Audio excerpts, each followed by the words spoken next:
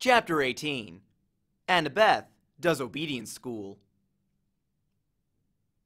We stood in the shadows of Valencia Boulevard, looking up at gold letters etched in black marble. DOA Recording Studios. Underneath, stenciled on the glass doors, no solicitors, no loitering, no living. It was almost midnight, but the lobby was brightly lit and full of people. Behind the security guard desk sat a tough looking guard with sunglasses and an earpiece. I turned to my friends. Okay, you remember the plan? The plan? Grover gulped. Yeah, I love the plan.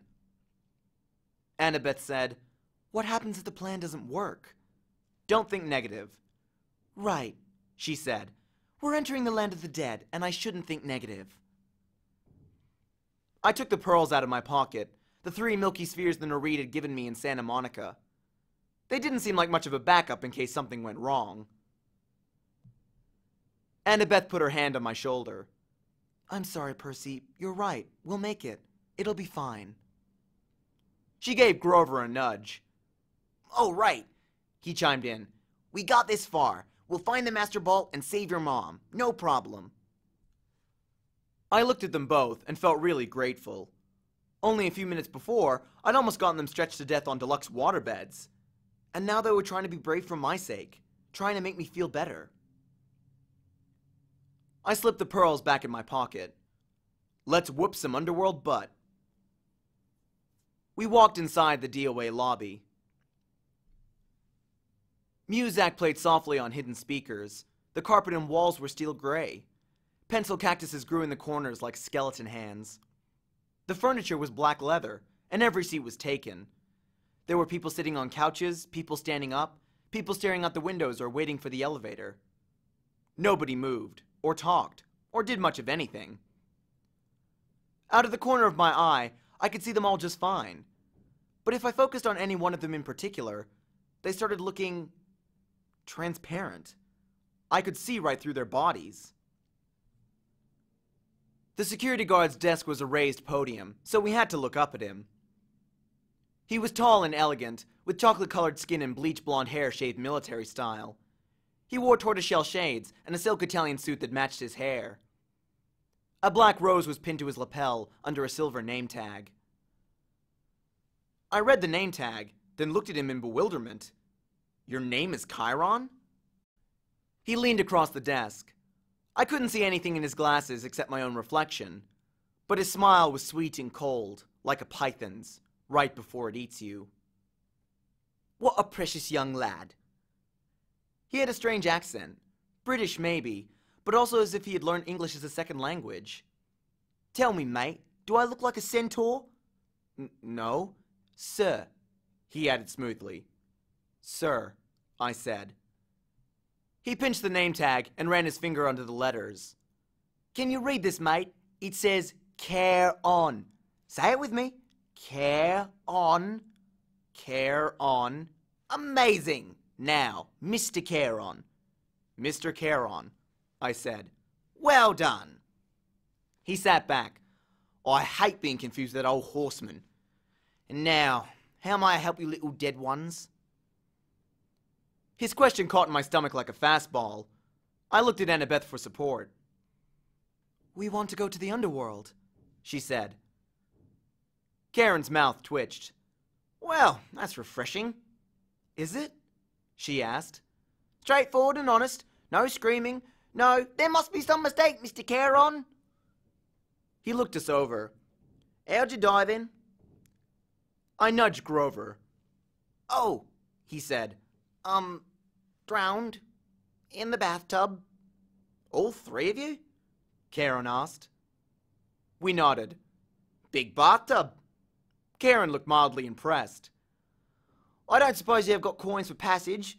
Normally with adults, you see, I could charge you American Express, or add the ferry price to your last cable bill. But with children, alas, you're never prepared to die. Suppose you'll have to take a seat for a few centuries. Oh, but we have coins. I set three golden drachmas on the counter, part of the stash I'd found in Crusty's office desk. Well, now. Charon moistened his lips. Real drachmas. Real golden drachmas. I haven't seen these in. His fingers hovered greedily over the coins. We were so close. Then Charon looked at me. That cold stare behind his glasses seemed to bore a hole through my chest. Here now, he said. You couldn't read my name correctly. Are you dyslexic, lad? No, I said. I'm dead. Charon leaned forward and took a sniff. You're not dead. I should have known. You're a godling. We have to get to the underworld, I insisted. Charon made a growling sound deep in his throat. Immediately, all the people in the waiting room got up and started pacing, agitated, lighting cigarettes, running hands through their hair, or checking their wristwatches. Leave while you can, Charon told us. I'll just take these and forget I saw you. He started to go for the coins, but I snatched them back. No service, no tip. I tried to sound braver than I felt. Charon growled again, a deep, blood chilling sound. The spirits of the dead started pounding on the elevator doors. It's a shame, too, I sighed. We had more to offer. I held up the entire bag from Crusty's stash. I took out a fistful of drachmas and let the coins spill through my fingers. Charon's growl changed into something more like a lion's purr. Do you think I can be bought, Godling?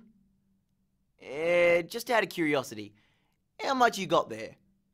A lot, I said. I bet Hades doesn't pay you well enough for such hard work. Oh, you don't know the half of it. How would you like to babysit these spirits all day long? Always, please don't let me be dead, or please let me cross for free. I haven't had a pay raise in 3,000 years. Do you imagine suits like this come cheap? You deserve better, I agreed. A little appreciation, respect, good pay. With each word, I stacked another gold coin on the counter. Charon glanced down at his silk Italian jacket, as if imagining himself in something even better. I must say, lad, you're making some sense now. Just a little. I stacked another few coins. I could mention a pay raise while I'm talking to Hades. He sighed. Ugh, the boat's almost full anyway. I might as well add you three and be off. He stood, scooped up our money, and said, Come along.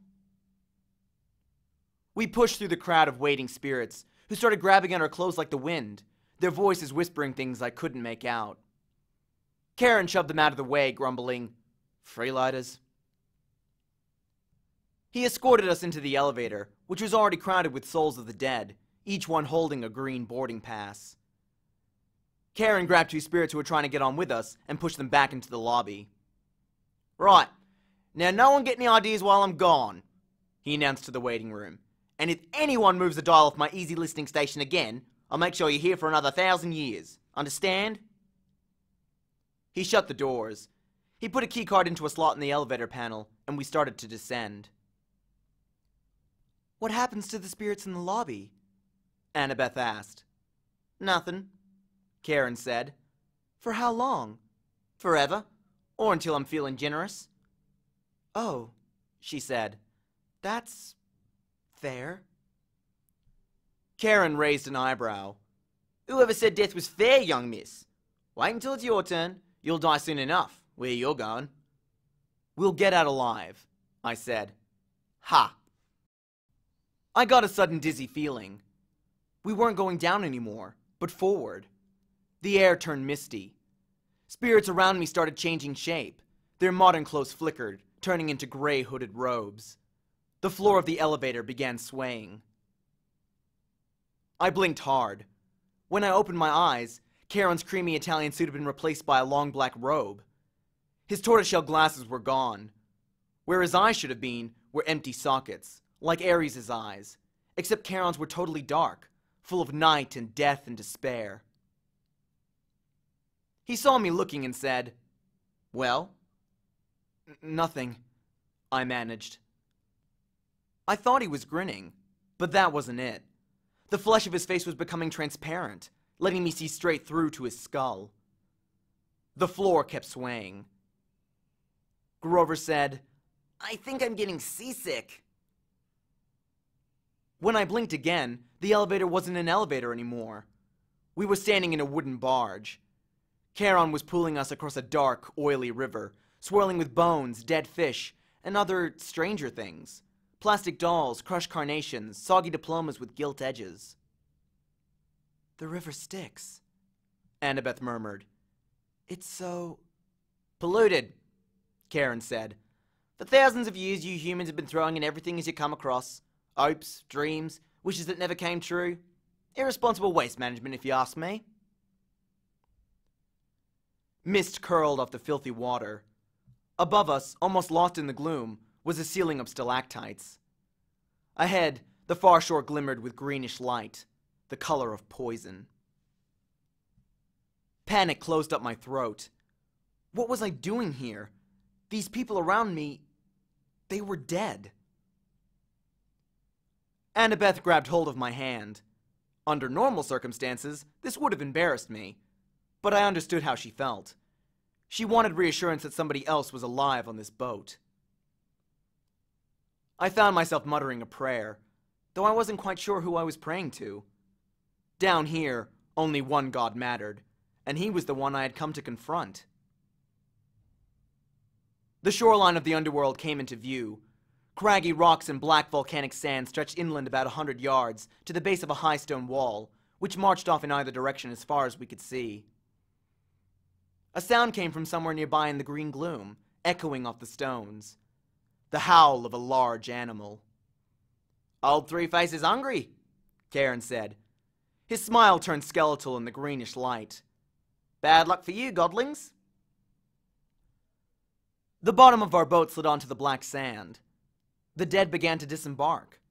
A woman holding a little girl's hand, an old man and an old woman hobbling along arm in arm, a boy no older than I was, shuffling silently along in his gray robe.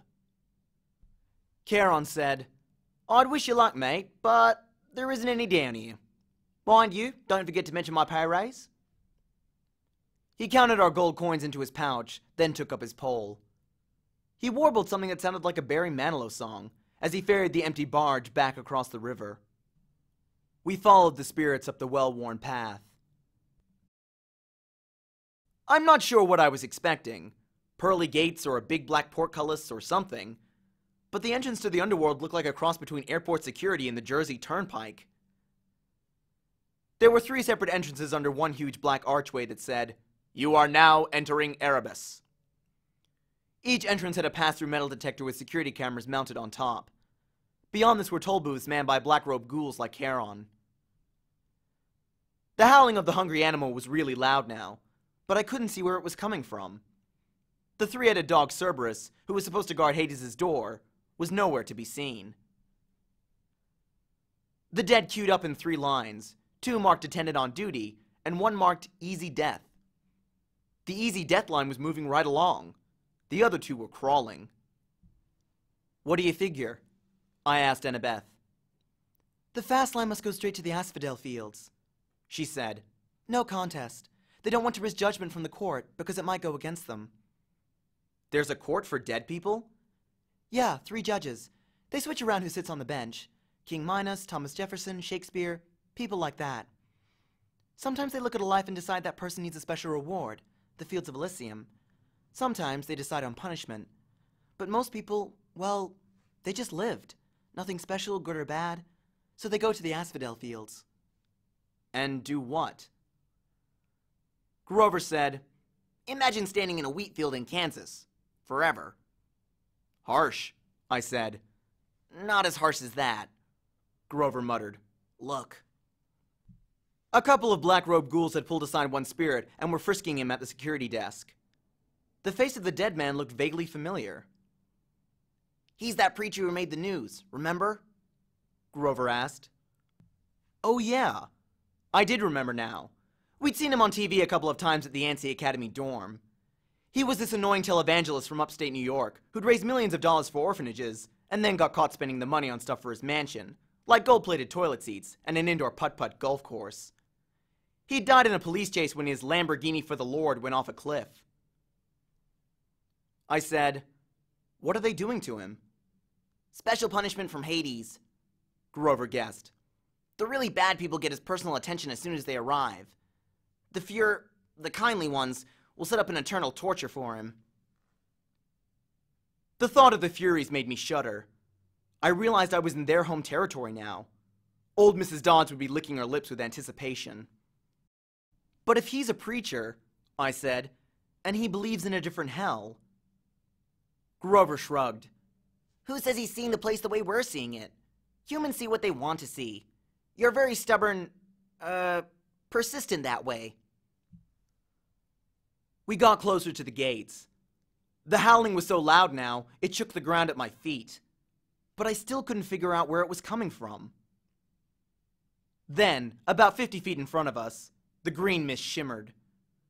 Standing just where the path split into three lanes was an enormous, shadowy monster. I hadn't seen it before because it was half transparent, like the dead.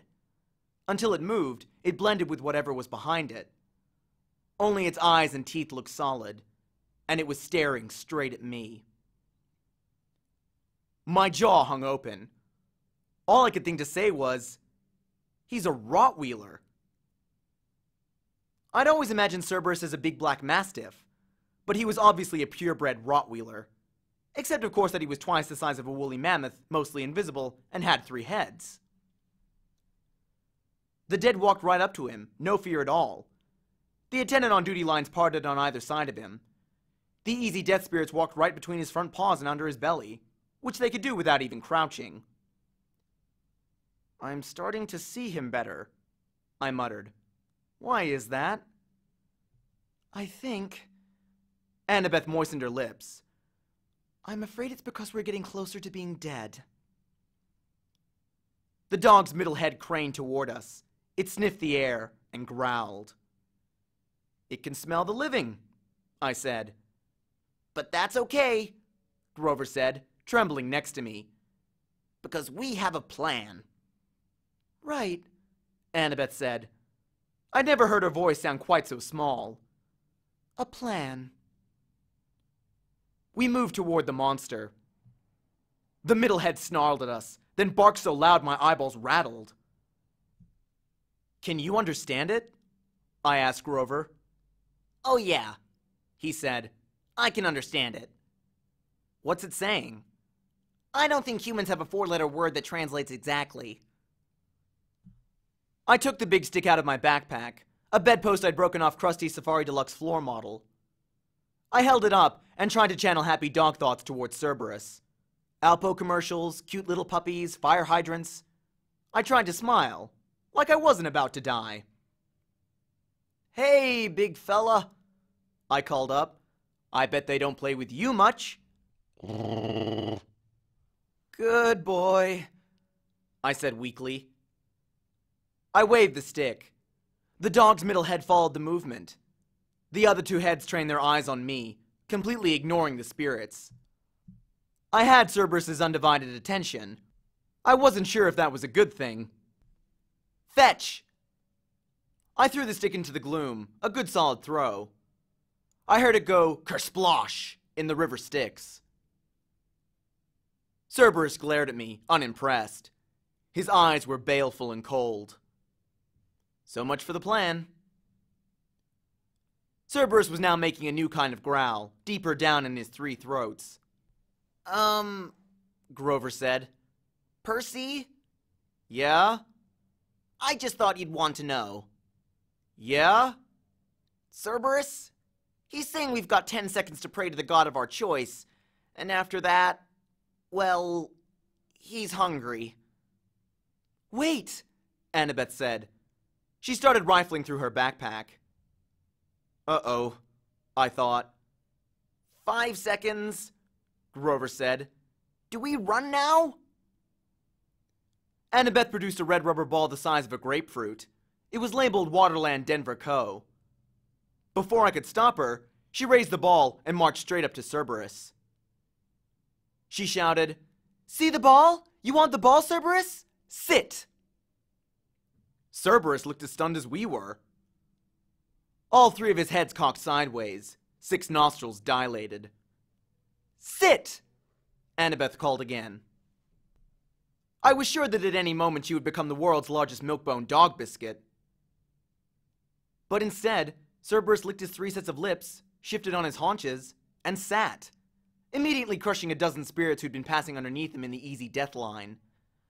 The spirits made muffled hisses as they dissipated, like the air let out of tires. Annabeth said, Good boy! She threw Cerberus the ball. He caught it in his middle mouth. It was barely big enough for him to chew, and the other head started snapping at the middle, trying to get the new toy. Drop it! Annabeth ordered. Cerberus's head stopped fighting and looked at her. The ball was wedged between two of his teeth like a tiny piece of gum. He made a loud, scary whimper, then dropped the ball, now slimy and nearly bitten in half, at Annabeth's feet. Good boy! She picked up the ball, ignoring the monster spit all over it. She turned toward us. Go now. Easy death line. It's faster. I said, but now, she ordered, in the same tone she was using on the dog. Grover and I inched forward warily. Cerberus started to growl.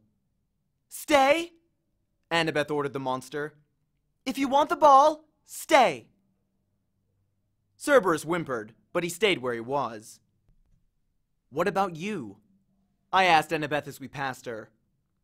I know what I'm doing, Percy, she muttered. At least, I'm pretty sure.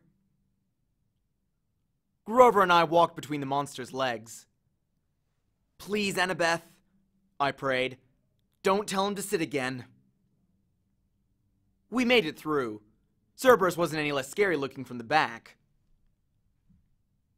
Annabeth said, Good dog! She held up the tattered red ball and probably came to the same conclusion I did. If she rewarded Cerberus, there'd be nothing left for another trick. She threw the ball anyway. The monster's left mouth immediately snatched it up, only to be attacked by the middle head, while the right head moaned in protest. While the monster was distracted, Annabeth walked briskly under its belly and joined us at the metal detector. How did you do that? I asked her, amazed. Obedience school, she said breathlessly, and I was surprised to see that there were tears in her eyes. When I was little, at my dad's house, we had a Doberman. Never mind that, Grover said, tugging at my shirt. Come on! We were about to bolt through the easy death line when Cerberus moaned pitifully from all three mouths. Annabeth stopped. She turned to face the dog, which had done a 180 to look at us. Cerberus panted expectantly, the tiny red ball in pieces in a puddle of drool at its feet. Good boy, Annabeth said, but her voice sounded melancholy and uncertain. The monster's heads turned sideways, as if worried about her. I'll bring you another ball soon, Annabeth promised faintly. Would you like that? The monster whimpered. I didn't need to speak dog to know Cerberus was still waiting for the ball. Good dog. I'll come visit you soon. I. I promise. Annabeth turned to us. Let's go. Grover and I pushed through the metal detector, which immediately screamed and set off flashing red lights. Unauthorized possessions, magic detected. Cerberus started to bark. We burst through the easy death gate, which started even more alarms blaring, and raced into the underworld. A few minutes later, we were hiding, out of breath, in the rotten trunk of an immense black tree as security ghouls scuttled past, yelling for backup from the Furies. Grover murmured, Well, Percy, what have we learned today? That three headed dogs prefer red rubber balls over sticks? No, Grover told me. We've learned that your plans really, really bite. I wasn't sure about that. I thought maybe Annabeth and I had both had the right idea. Even here in the underworld, everybody, even monsters, needed a little attention once in a while. I thought about that as we waited for the ghouls to pass. I pretended not to see Annabeth wipe a tear from her cheek as she listened to the mournful keening of Cerberus in the distance, longing for his new friend.